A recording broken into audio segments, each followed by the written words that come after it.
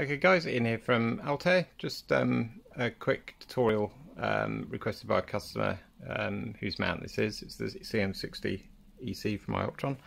Um, we just got it on the bench up here, just um, giving it a once over um, before sending it on to him. and it's just really just just a quick, once it comes out of the box, what do you need to do and also how the how these clutches work at the side, which is slightly different to a normal mount.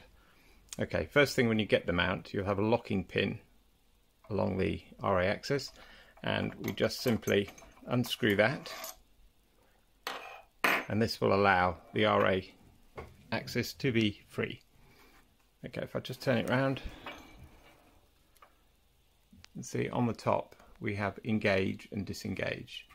When the mount comes you'll find that it's engaged. To completely disengage, to free drive the mount.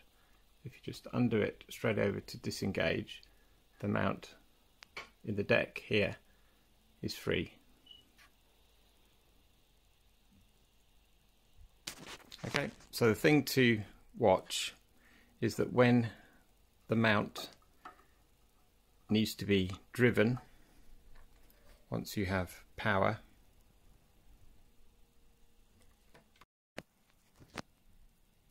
Okay, so we now have the mount powered up and ready to go. The first thing you need to do is to remove to move the dial from engaged to, to a quarter of a turn towards disengaged, but don't disengage. So it's a quarter of a turn. Not much at all, just a quarter of a turn. We do the same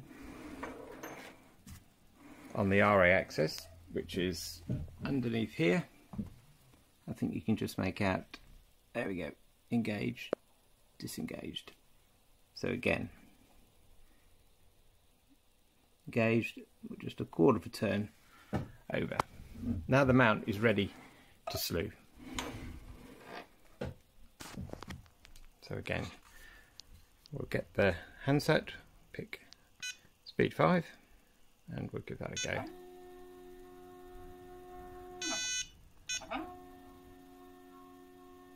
The RA. And that's the Dec, moving nice and smoothly. Okay, I hope that was useful. Thanks very much for watching.